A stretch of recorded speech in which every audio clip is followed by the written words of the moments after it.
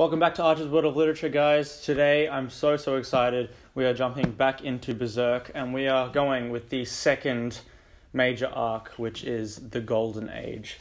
So, the Golden Age sort of went through Guts's sort of traumatic childhood and sort of explains how he sort of came to be this great warrior and this um, his prowess in warfare um, and some of the really yeah like I said traumatic things that happens to him um, and sort of him learning that there are good people in the world, there are people that are willing to be his friends, um, but still being very wary of trusting people because of what happened in his past. So we're to sit down, we're to chat about the golden age today.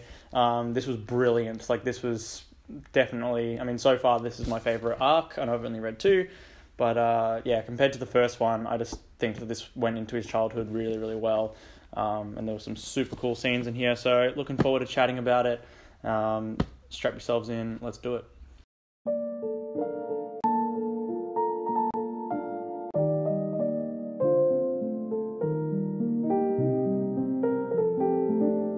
So after the conclusion of the Guardians of Desire, uh, we, Berserk sort of jumps straight into the past. It jumps into the Golden Age, um, and it starts off with not like how Guts was born, but how Guts was found. So basically, Guts was found by um, a group of mercenaries, and Guts was a baby on the ground in the mud, sort of screaming and crying, and he was actually sitting underneath his mother, who was hanging by a tree.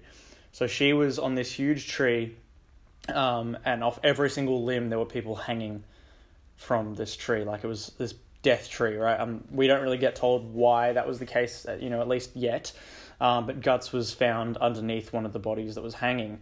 Um, so this group of mercenaries comes along uh, and they find the baby and they're about to leave, but then one of the wives of one of the mercenaries, one of the women in the troop, runs over and picks up the baby and she wants to look after it because she's had some miscarriages and this might be her chance to raise a child.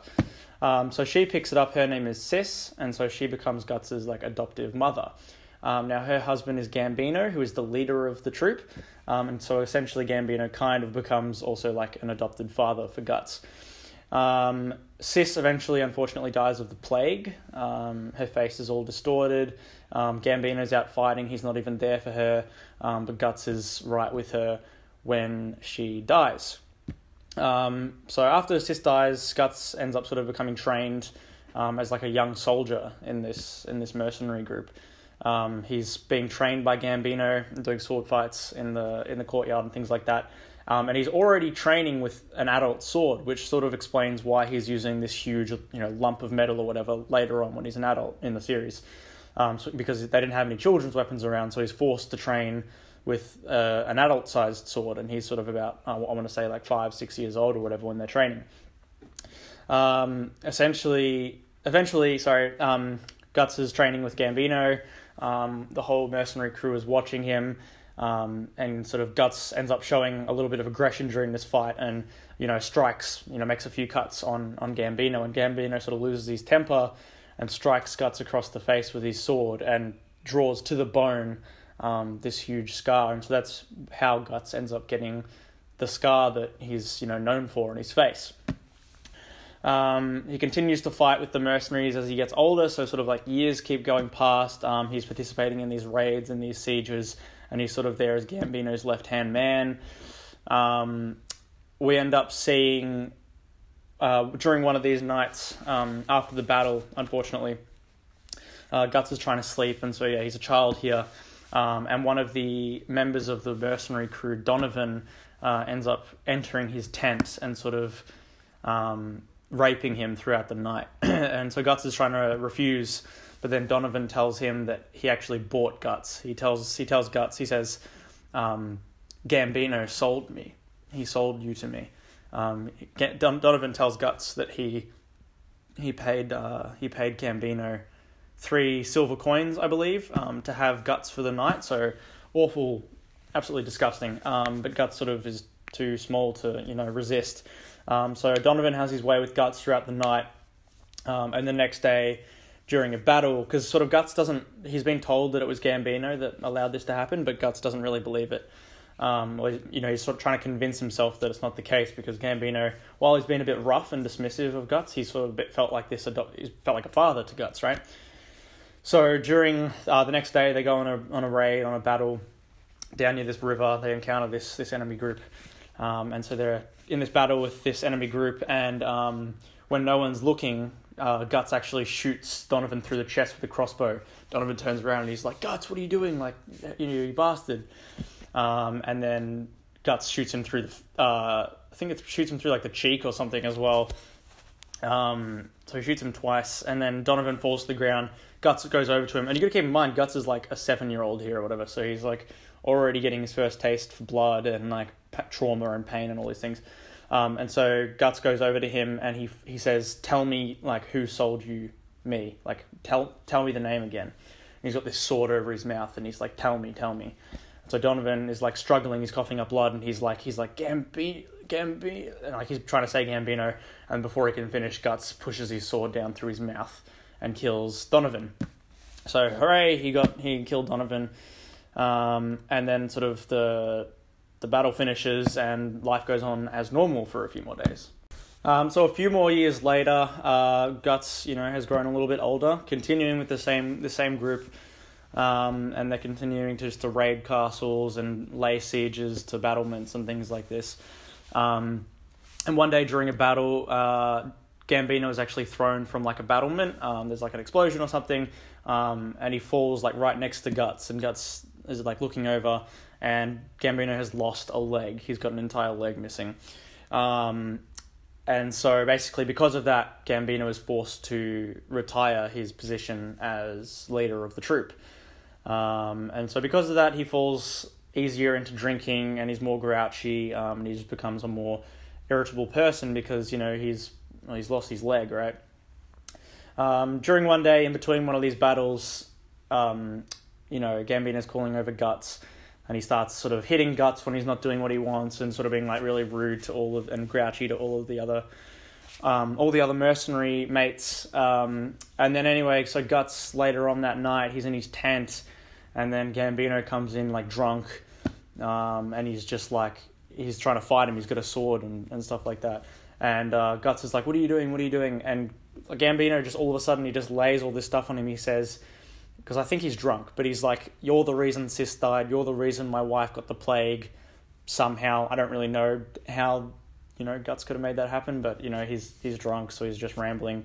Um, and he actually says to Guts, he says, You should have died. You should have died under that tree. You were always a bad omen.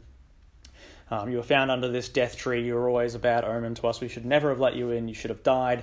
Um, and so Guts is heartbroken. Is this person he relatively looked up to is just saying that he thought these things all along. Whether or not he actually did, or this is just him being drunk and grouchy because he lost his position as leader, we don't know. Um, but either way, he's saying these really hurtful things, and then he tells he tells Guts some awful news, and Guts's worst fears come true. He says to Guts, he says, he says, you know that one night when Donovan came in and had you, he paid me. I sold you to Donovan. I, you you were worth three silver shillings, and I let him do what he want with you. Um, for whatever reason, he felt like telling Guts that just to be a prick, you know, whatever. Um, and so Guts is heartbroken. He's uh, he's he's truly lost. And so yeah, so um, Gambino and Guts end up having this this quarrel, um, this argument, and Guts is crying like he's he's crying like why would you say these things? Did you really always think these things? And this is just another trauma that Guts has to live with. Like he's just sort of been gaslit into believing that you know his whole life was a lie, and all the people he thought cared about him actually didn't. Um, so this just adds to his his emotional trauma um, and his physical trauma. He's got this person he thought it was his adopted father um, coming in and trying to attack him, um, and so this all turns into a bit of a sword fight um, because he's sort of drunkenly trying to you know, attack Guts, and Guts defending himself with tears in his eyes, and the, the wonderful fighter that he is, um, plunges his sword through Gambino's throat um, as as he's attacking him. Uh, so Guts is crying. He's got blood of his, you know, this adopted father, his fatherly figure, and, and the body of, of Gambino in front of him, and he's crying. And he's just sitting there. He doesn't know what to do. Um, and then all of a sudden, during this this this uh this quarrel, one of the candles has fallen over and it's burnt down. It's starting to burn his tent. Um, and so, seeing the flames, the rest of the crew come in to see what's going on um, and they see Guts in there holding their ex leader, a man they looked up to. Um, they see him holding his body in front of them. They they immediately they go Guts, you've you've killed him. What have you done? Um, and they go to try and kill Guts because they say that a traitor needs to be hung. Um, and even though he's like this kid, they're you know they're going, you know, ballistic trying to get him. Um, Guts ends up sneaking past them because he's a lot smaller. He can like run through their legs. Um, he kills a couple of them, uh, and then he, he runs because you know there's too many of them. Uh, Guts jumps on a horse. He takes his sword with him. That's all he's got: his horse and his sword. Um, and he flees the camp. He flees, and he's like, you know, what am I going to do now? Um, no one's going to believe me, you know, that all this stuff happened and that Gambino started it and Donovan did this to me, etc. So Guts is fleeing the camp and he's being pursued by the rest of the mercs um, on horseback, and Guts ends up arriving to the edge of a cliff face, and there's nowhere for him to run to anymore. It's sort of Guts is here, the cliff, you know, if he keeps going forward, he's going to fall off. Um, and behind, a very narrow cliff, mind you, um, and behind him is, you know, all the mercs that were chasing him and they they end up shooting him in the back with a crossbow. They're shooting him, um, and so he gets shot and he's losing blood. Um, and they're all like, "Oh, you know, where are you going to go now? We've got you." Um, and Guts ends up sort of like fainting or like collapsing off his horse, and he ends up tumbling down the cliff, down to the bottom with it's sort of like a lake. And then all the mercs they go, "Oh, you know, he couldn't have survived, you know, a fall like that. We got him." So they turn away. Um, you know, little do they know, Guts survives. He stumbles up. He's losing blood. He's got cuts and scratches all over him and he starts stumbling across this sort of like river, this lake, um, and he's looking up at the stars, and he's sort of going, you know, what am I doing? Like, you know, where am I going?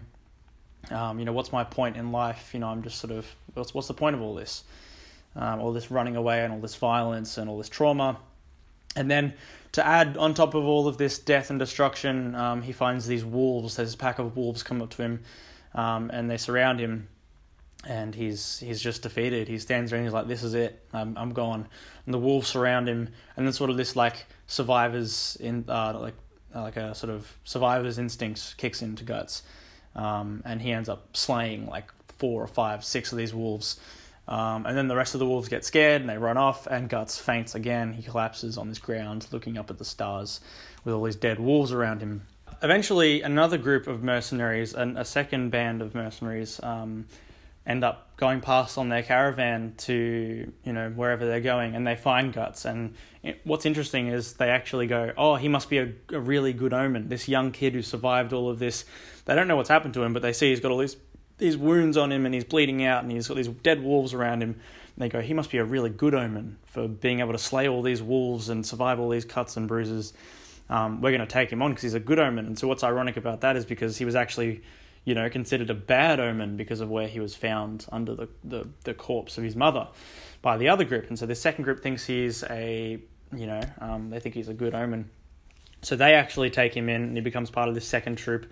Um, he continues to prove his strength and his prowess in battle, um, and he continues to make good money during these sieges. So because you know Guts is just super strong, and because he trained with this large sword as a kid, he's super nifty, he's super nimble, um, and he's able to sort of sneak under these huge, the big guys in battle and sort of take them down.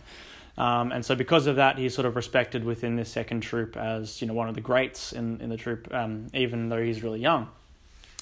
Uh, and so eventually he ends up you know he continues to make good money in this in one of these sieges, and then the the troop leader comes up to him and says, um, you know, would you like me? Would you would you like to become my my left hand man, like you know, and sort of um, like a squire, right, like a knight's assistant, because um, the leader is actually a knight, and he's sort of running around with these mercenaries and these other knights, and they don't really explain how his troop works, but he's sort of offering Guts to become, to you know, an official title for a bit more money, and Guts actually refuses. He walks off because he's like, I think he you know he prefers the lifestyle of of just being a mercenary. He doesn't really want to be tied down to anyone um, have any official titles. He sort of likes being this rogue.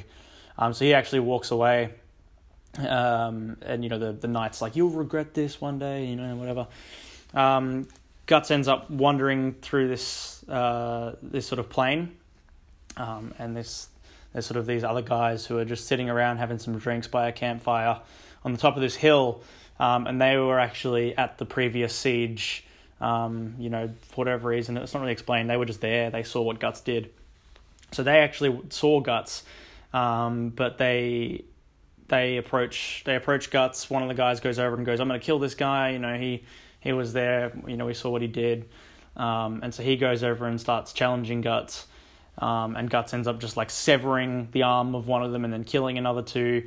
Um, like I said, you know, just super amazing in battle. One of the people that comes up to him after, to battle him after he's just severed the arm off of one of them, he's killed one of them, um, is Casca. And so Casca is this like a little girl um, soldier, right? So she's sort of like the equivalent of Guts, like in female form, right? Um, and she's trying to battle him.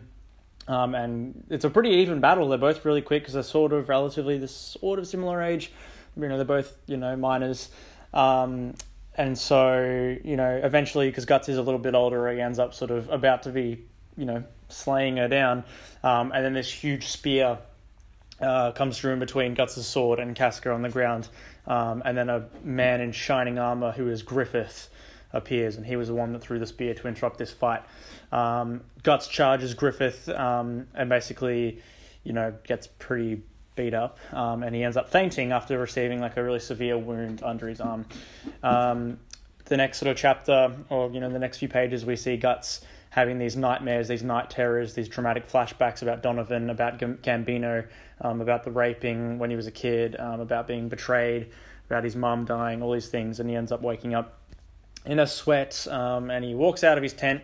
He finds himself in this new campsite, um, and he he finds out that by Griffith's orders, um, Casca, the, the little girl, actually had to sleep next to him um, to keep him warm, to bring him, try and bring him back to life. Because apparently Griffith said that it's a woman's duty to warm a man in bed, um, and so he actually made her sleep with him, um, not do anything, but just be by his side to try and you know warm up his body. Um, we end up finding out that Guts has found himself amongst the Band of the Hawk, which is like a really renowned, um, powerful mercenary group across the land. Um, and so basically Griffiths later on in the day, Griffiths like up up top on this mountain on this this hill near the camp, and Guts goes over and he just wants to like find out what's going on, um, and they end up having this battle because uh, Griffith Griffith tells Guts he says um, I want you. He's just like I want you. Griffith's like Griffith actually says to him he's like oh you like gay like is it in, in, a, in a gay way, and then he's like no like I just I just want you for my my crew or whatever. Um, and you know, I think Guts is quick to assume that about people who say those kind of things because of what happened to him um, with Donovan and sort of the trauma from that. So he sort of, anytime anyone sort of says anything that's relatively nice to him or just like a compliment or whatever, he instantly jumps to, um, you know, something negative and to be fearful because he's sort of got PTSD from that event. Um, and then they end up having a battle where if Guts wins, he gets to give Griffith um, a wound under his arm, like he received from Griffith and if Griffith wins, he will um, he will claim Griffith uh, he will claim Guts um, as his. Uh, so it sort of goes back and forth between the powers of the two of who's winning and who's losing at each time. Um, it looks like Griffith's winning at the start. Um, and then Guts ends up gaining the upper hand um, by like lifting up his sword, and you know he's about to flick it up, this huge sword to hit Griffith, and then Griffith actually jumps and sort of balances on top of it because it's huge. So Griffith's balancing on top of it, and he has a much smaller sword, so he puts the sword towards Guts's teeth, and everyone, people have gathered to sort of watch. Um, and Guts sort of goes, "No, I'm not. I'm not letting this be my defeat." And he's like, "I'll show you what a mouth should do in battle. Like it shouldn't be, you know, yammering insults and talking all this smack. It should be doing this." And he bites. Um, he bites the sword that's in front of his face, and his teeth and his mouth's all bleeding and stuff. Um, and he ends up throwing Griffith off from the balancing of his sword, um, and ends up beating Griffith up and like punching him a bunch of times. And then Griffith sort of ends up really quickly snapping around because everyone's like, "Oh my god, we've never seen Griffith, you know, be in trouble like this before." So Griffith ends up sort of getting back and then getting he flips Guts over and sort of like this arm lock. Um, and he says to him, he says, you know, tell me that like, you know, you'll be mine or whatever, I'm gonna dislocate your arm. And so Guts just calls him an asshole. And so Griffith just dislocates his arm, he just pops his arm out. Um, and so he says, after this, he says, Now you are mine. Now you belong to me. Uh, so after this, Guts is taken on his first assault of an enemy camp with this new group. Um, he has to prove his strength, um, you know, as protecting the rear, like the rear side, the behind of the raid. Um, after Guts is, you know, Guts is doing an amazing job. He's proving his strength. He's defeating a bunch of people. Um, but after he's nearly defeated, Griffith actually comes back to the rear behind where Griffith is, uh, where Guts is, um, and picks him up on his on his horse, and then leads the people who are about to defeat Guts um, back to the castle where they were raiding from, um, and back to a wall of cannons that Griffith set up, and they shoot away all the enemies. So he sort of rescues Guts. Um, later on that night, they're celebrating this this win, Um, and Guts, being the sort of isolated, you know, traumatic affected person that he is, he's sitting up on the castle wall by himself, and everyone's celebrating on the ground. Um, and eventually, he's approached by. Um, sorry, I'm just looking at the names that are written down because I haven't memorized them. Um, he's approached by Rickert, who's one of the boys, um, and then he's approached by one of the other girls named Judeau, um, and they're offering Guts to come down and celebrate uh, with him. And sort of Guts is like, no, I don't, I don't want to. You know, I don't feel the need to. Um, and then sort of the group's giant, like the big soldier, comes up, and his name's Pippin, and he's like this sort of friendly-looking guy, whatever. But he's it, it looks intimidating, but I think he's kind of like a friendly type. Um, and he actually just picks Guts up, and he's like, you know, doesn't say anything, but he's like, you know, you're coming to the party, you're coming to celebrate because this is like a welcoming party for you and a you know a celebration of the the, the victory that we took today. Um, and Guts freaks out and he screams. He goes, "Don't touch me! Don't touch me!" And he punches Pippin in the face. And Pippin just doesn't think anything of it. But Pippin's like just like, hmm and just sort of keeps taking him down. But you know, this is how we're seeing the the um, what happened with Donovan affect him, like this PTSD, this trauma of what happened. Um, he can't be touched. Um, and so anyway, Guts ends up having a few drinks and spending the nights during the celebration, and he actually feels pretty good. Um, and then the next morning, he's back on his wall, um, and Judeau comes back up to him and asks how he feels about being a member of the band of the Hawk. Um, and Guts sort of goes, "Oh, you know, I'm just going to be seeing what happens essentially. Um, and he asks about Griffith. He goes, "What kind of man is Griffith?" And Judeau says, "None of us know what kind of man Griffith is. He's, um, you know, he can look really serious, and then he hits you with this baby face smile. He can look really cruel, and then he can look super, you know, um, admirable in in a second. Um, and so that she sort of says that no one knows what kind of man Griffith is. Um, but uh, anyway, so we end up finding out that Griffith invites Guts to come over and wash up with him and just you know talk with him. It ends up turning into some mucking around. They're throwing some buckets of water on each other, and it's sort of building this sort of um, well, what looks to be like a, a friendship actually. Um, they're both these really strong characters, and it looks like they're going to actually be friends because they're sort of mucking around, they're tussling about, having a bit of a play wrestle sort of thing. Um, Griffith ends up showing Guts this necklace that he's wearing, and Guts goes, "Whoa, what is that? That's kind of a wacky looking necklace.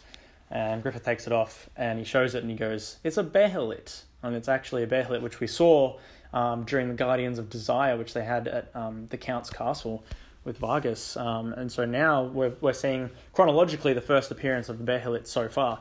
Um, and Guts sort of goes, Oh, it almost looks like it's alive. And then the eye opens and it's like, Oh.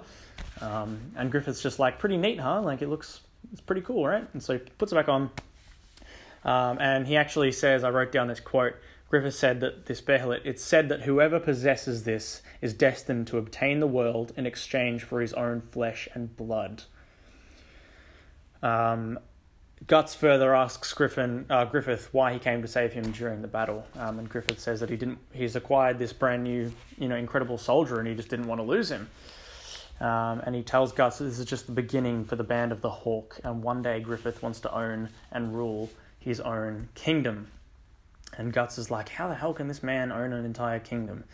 Um, but he he reminds Guts that he will be fighting for Griffith and for this kingdom because Guts belongs to him now. So this was a brilliant arc, um, so good. Like you know, just a flashback of his childhood, um, and it really gives us so much depth to his character. I love that. Um, and the arc actually ends with just this huge um, swarm of like the band of the hawk people on their beautiful horses, knight in shining armor, all that against this other massive army on this field. Um, and Guts sort of says something at the end like, "Oh, you know, this is what I do now. Like this is just my life." Um, so it sort of sounds like he's found his people. Uh, but we'll see how we go because obviously what we found out in the um, in the Guardians of Desire arc kind of looks like Griffith turns evil. I don't know. Kind of seems like you know he turns into a, a bad guy, or maybe not even a bad guy, but uh, you know at the very least Griffith um, and Guts end up having some sort of altercation, and they're no longer as close as they are anymore. So it's going to be really interesting and also kind of heartbreaking to see how that happens because all these things that Guts has gone through, it's making it seem like you know as soon as he's found Griffith and the band of the Hawks that you know these are some of the first people he's found that aren't going to abuse him, use him, um, mess with him. You know they're actually trying to be friends with him. So it's going to be really heartbreaking to see how they separate um, and whether or not they will come back together again. We won't. Uh, I'm not sure. Uh, but that's how the army end. Uh, the arc ends. Sorry, with with the army, um, the army at the end of the arc. um, sort of facing each other in this battle. So we'll see what that battle is um, at in the, at the start of the next arc, the next chapter. Um, and I'll be doing that, you know, sometime maybe in a couple of weeks or so. I've got a few videos planned, um, some other topics planned in between then, so we will see when I get to it. Um, but please let me know if you enjoyed this style. This is my second Berserk video. I really, really like making these ones. I love putting the pictures up um, in between the slots and making the transitions. Um, and sort of editing the audio over the picture. I find it really fun, um, and writing down all the notes and you know really memorizing what happened um, in these arcs. And writing these notes has been a really good way for me to um, fully memorize what's happened and differentiate between each arc. So I've had uh, a lot of fun. I got some really positive comments in the last one. People saying they just like someone talking about their favorite manga. So I'm having a blast with it, um, and I love talking to you guys about it. Um, let me know what your thoughts are on the Golden Age. Um, let me know, you know, how if if you really want to see a third part. Let me know if you want to see a third part because you know, I will do it, but if, you know, people really, really, really want to see it, then I'll obviously prioritize that. Um, so thank you for joining me on this. It's been an absolute thrill ride, and I'm really excited to get into the next arc. Um, like I said, I've got a few things to do in between then, but, you know, it probably won't be too much longer until then. So, as I always like to say, thank you so much for watching. Keep reading. Peace out.